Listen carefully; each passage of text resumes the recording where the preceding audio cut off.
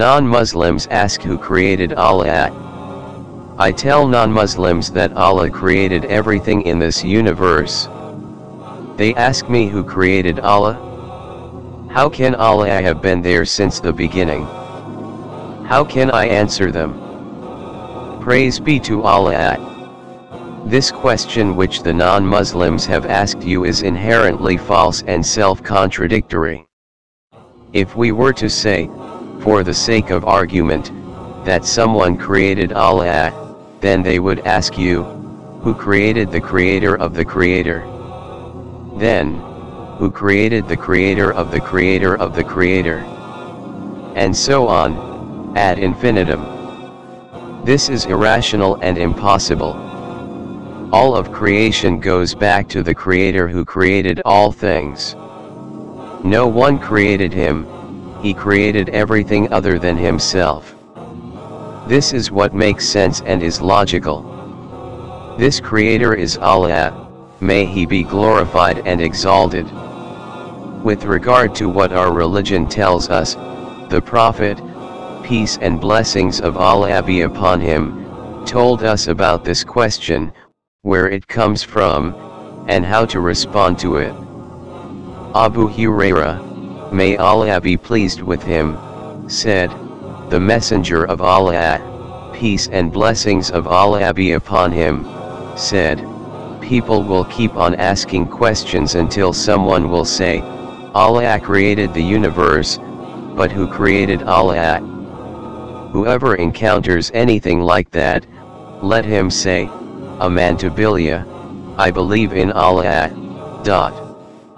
The messenger of Allah, peace and blessings of Allah be upon him, said, The shaitan will come to one of you and say, Who created the heaven?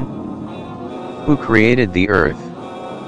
He will say, Allah, then he mentions something similar, to the previous report, and added, and his messengers. I.e., a man to Amantubillah wa Rusulihi equals I believe in Allah and his messengers. The messenger of Allah, peace and blessings of Allah be upon him, said, The shaitan will come to one of you and say, Who created such and such, until he says to him, Who created your Lord? When it reaches that stage, let him seek refuge with Allah say Billahi min ash shaitan ir rajim equals I seek refuge with Allah from the accursed shaitan and stop thinking about it. The messenger of Allah, peace and blessings of Allah be upon him, said, the shaitan will come to a person and say, who created such and such, and he narrated the whole report. Imam Muslim, 134. In these ahadith, prophetic narrations, we see where this question comes from, from the shaitan. How to deal with it, which is to stop pursuing these thoughts and these tricks of the shaitan. To say, I believe in Allah and His messengers. To seek refuge with Allah from the shaitan. It was also reported that one should spit drilly three times to one's left, and recite Kul Huwa Allahu Ahad. See problems and solutions in the Sheikh's book section of this website. 3. With regard to the prior existence of Allah, our Prophet, peace and blessings of Allah be upon him, has told us about this, for example. He, peace and blessings of Allah be upon him, said, O Allah, you are the first and there is nothing before you, O Allah, you are the last and there is nothing after you.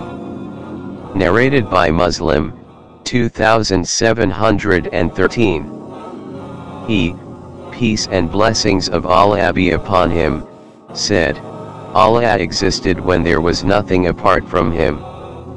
According to another report, there was nothing before him. Narrated by Al-Bukhari, the first report 3020, the second report 6982. This is in addition to what is stated in the ayat verses of the Quran. The believer believes without a doubt, the non-Muslim denies and the munafiq, hypocrite, doubts. We ask Allah to grant us sincere and certain faith with no doubts. And Allah is the source of strength.